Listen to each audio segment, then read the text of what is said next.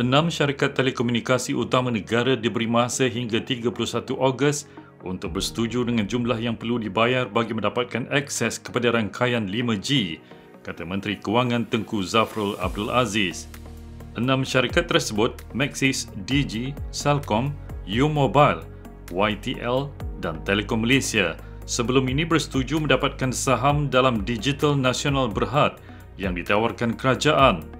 Maxis dan U-Mobile ialah dua syarikat terakhir yang bersetuju dengan syarat-syarat kepentingan equity Isnin lepas.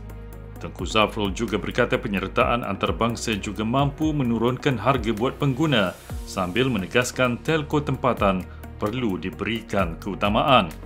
Pada 30 Jun lepas, Menteri Komunikasi dan Multimedia Anwar Musa berkata, enam syarikat telekomunikasi utama telah bersetuju untuk mengambil kepentingan equity dalam DNB bagi pelancaran rangkaian 5G. DNB, syarikat milik kerajaan yang dilantik untuk mengendalikan kemudahan dan rangkaian 5G di seluruh negara, menawarkan kepentingan equity sama rata sehingga 70% kepada telco utama menjelang 30 Jun.